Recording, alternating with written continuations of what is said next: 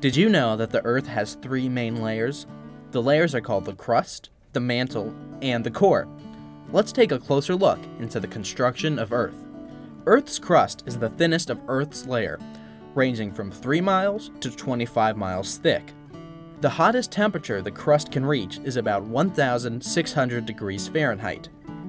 The next layer is the mantle, which is also the largest. At over 1,800 miles thick, the temperature ranges from 1,600 degrees to over 4,000 degrees Fahrenheit. The core is the final layer and is actually composed of two cores, the inner core and the outer core. The outer core is 1,400 miles thick and can reach 9,000 degrees Fahrenheit.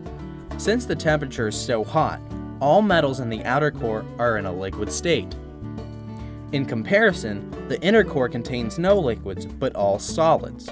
This is due to the immense temperatures and pressures that are present. The pressure at the inner core of Earth is about 45 million pounds per square inch. The inner core is only about 800 miles thick and 4,000 miles beneath the crust.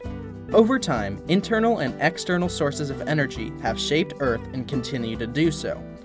All of life is dependent on Earth's internal and external energy and material. Thanks for watching.